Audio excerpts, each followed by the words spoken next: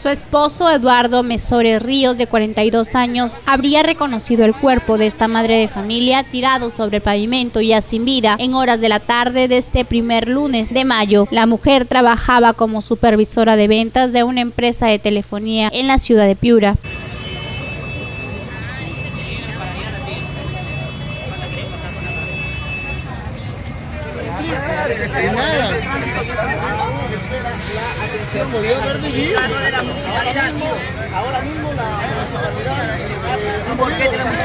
La motocicleta que la trasladaba quedó destrozada tras el impacto. Sus restos quedaron dispersos por la vía Cáceres. El accidente mantuvo bloqueada la vía de tránsito por más de dos horas, generando gran caos vehicular.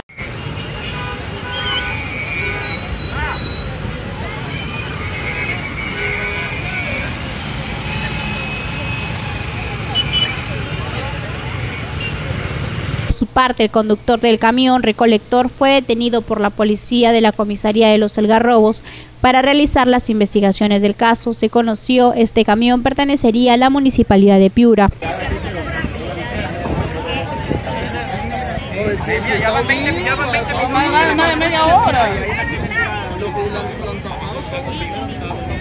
Asimismo, se conoció que la gran parte de esta racha de muertes se debe a la imprudencia de los conductores y al exceso de velocidad. En el 60% de conductores se indican que no respetan las señales de tránsito se pasan la luz roja y realizan maniobras temerarias en las pistas de la región de Piura, que ya ha dejado víctimas que lamentar.